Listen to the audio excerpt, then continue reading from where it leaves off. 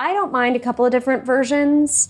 Um, I obviously, you know, put your best foot forward 1st Um, in version one, um, maybe say in the very beginning, this is, you know, I'm Amanda Wyatt. I'm going to be giving you two versions so that I know. So that you know there's another Yeah, one. yeah, so that there's another one coming up. I also don't really like um, slates in the character voice. I would rather have a slate in your natural uh, voice print, So you can hear so what I can hear sounds what like. that sounds like, especially if I'm not familiar with you. Yeah. You know. Not only that, sometimes hearing the slate, natural Mm-hmm. voice, and then hearing a character almost gives you a little bit of gauge Yeah. as to their Yeah, Yeah. their ability. Exactly. Yeah, absolutely. Because with video games, we're almost 99% of the time going to ask you to do at least three voices.